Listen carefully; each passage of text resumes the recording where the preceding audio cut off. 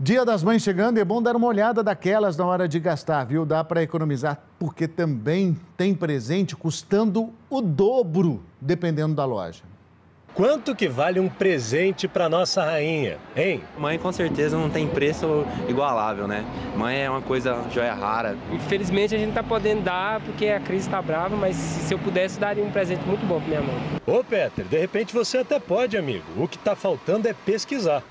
O Procon fez isso, passou por 22 lojas de Goiânia e descobriu diferenças enormes de preço no mesmo produto de uma para outra. Este secador, por exemplo, está custando R$ 69,00 num lugar e R$ 119,90 em outro, quase 74% de variação. E essa batedeira, então, que sua mãe vai amar, pode custar de R$ 49 a R$ 109,90. A campeã da lista foi essa panela de pressão aqui, ó, que o Procon chegou a encontrar com diferença de preço de uma loja para outra de mais de 200%. Meu amigo, essa é a prova de que quem não pesquisa fecha os olhos para as oportunidades. Nenhuma mãe vai querer é, receber um presente ali, mas ver o filho descontrolado financeiramente. Então, muito cuidado, compre um produto que esteja adequado ao seu orçamento. Antes de sair de casa, já verifique quanto que pode ser gasto para não descontrolar o orçamento doméstico. Uma flor para quem aprendeu a lição e um buquê inteiro para quem nunca se esquece do verdadeiro valor de uma data como essa.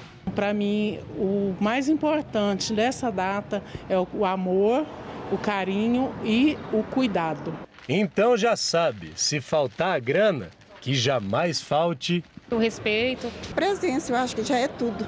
Vale mais que um presente físico? Vale, para mim vale.